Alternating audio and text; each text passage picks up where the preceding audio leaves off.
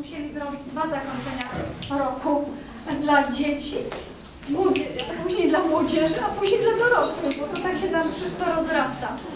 A obecnie, słuchajcie, w magazynie sztuk pracuje 17 instruktorów. To jest bardzo dużo, więc ogromna ró- różnorodność zajęć od e, rysunku przez różne odmiany malarstwa do malarstwa eksperymentalnego, fakturowego, malowania kopii, e,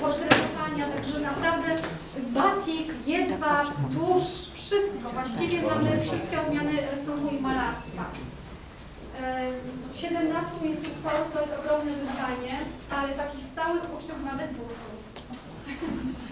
To są nasi stali uczniowie, którzy na stałe przychodzą. Nie liczę w ogóle tych, którzy przychodzą jednorazowo albo okazyjnie, albo e, przychodzili, a już nie przychodzą. Także też, e, jak widzicie Państwo, się. E, W tym roku mieliśmy już jeden plener w Kamieńczyku.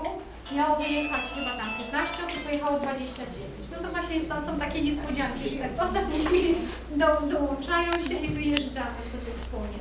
Następny plener będziemy mieli we wrześniu. Oprócz tego grupę młodzieżową Forma i Wyobraźnia, tutaj dzielnie stoją dziewczyny. Jeszcze w tym roku nie wszystkie się chyba wystawiły, tak mi się wydaje, ale e, na przyszły rok. Także tam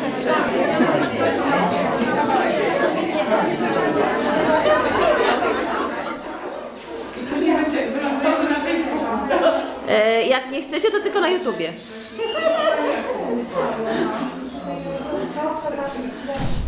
Za szybko chyba. Dobrze,